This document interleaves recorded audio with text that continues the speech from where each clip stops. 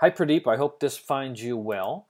I am, let's see, uh, I am at the, um, obviously at the system here, but I wanted to show you something. I um, just added this um, demo I was doing for um, Angie and Melissa.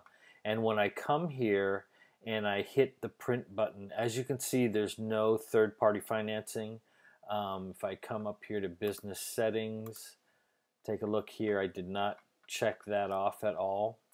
But when I come here to the patient list again and I hit this button,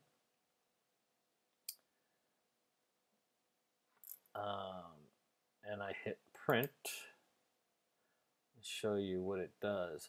It brings in the third party financing.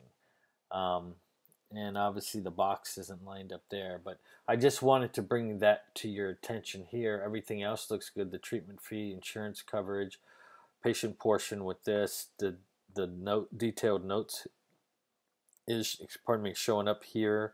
Um, single payment discount is good. This is good, um, but this is showing up. So I'm not sure if um, if you knew that. So I just want to let you know. Thank you so much. Talk to you soon. Bye.